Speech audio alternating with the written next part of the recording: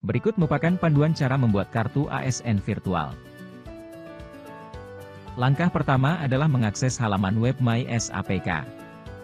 Kemudian melakukan login dengan mengisikan NIP dan password akun MySAPK.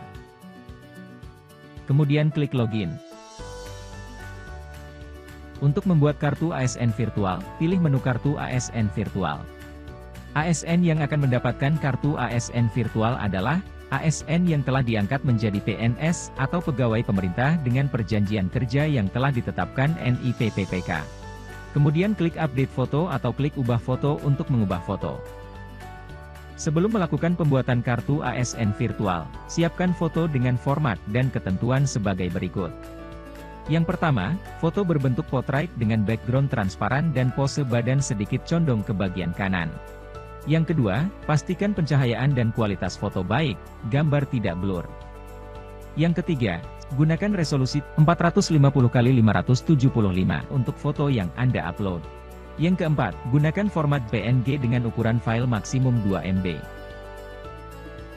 Jika foto sudah sesuai format, kemudian klik pilih foto. Kemudian cari file foto. Kemudian klik gunakan foto ini. Klik Iya. Terdapat pilihan desain yaitu portrait dan landscape. Klik desain yang diinginkan.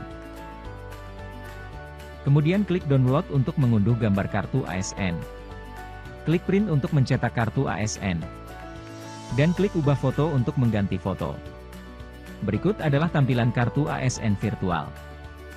Pada kartu ASN virtual, terdapat QR Code yang dapat di-scan. Scan QR Code kemudian muncul link, klik link tersebut.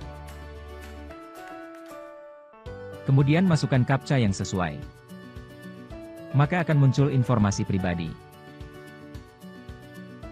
Demikian tutorial singkat mendapatkan kartu ASN virtual.